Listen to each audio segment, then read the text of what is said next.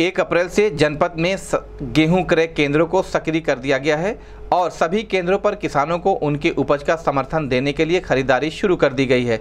इस संबंध में गोरखपुर न्यूज़ से बात करते हुए जिलाधिकारी के विजयन पांडे ने बताया कि जनपद में कुल एक सौ गेहूँ क्रय केंद्र खोले गए हैं, जिनका सरकारी समर्थन मूल्य अठारह रुपए प्रति कुंटल के हिसाब से, अतिरिक्त अन्य मद में बीस रुपये यानी कुल अठारह रुपए प्रति कुंटल दाम किसानों को दिए जा रहे हैं।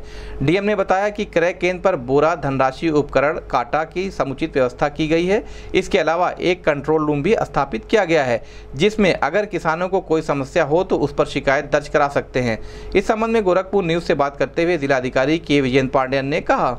यहाँ गोरखपुर में एक गेहूँ क्रय केंद्र एक तारीख से प्रारंभ की गई है, चालू हो रहा है।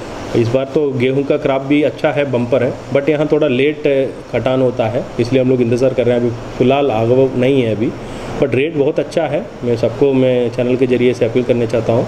अठारह सौ चालीस रुपया प्रति क्विंटल के दर से मिलेगा। उसके अलावा बीस रुपया अतिरिक्त जो आपका जो बाढ़ा के लिए भी मिलता है पैसा। अच्छा पैसा है जो मार्केट से, बराबर नहीं तो मार्केट से ज़्यादा है ये।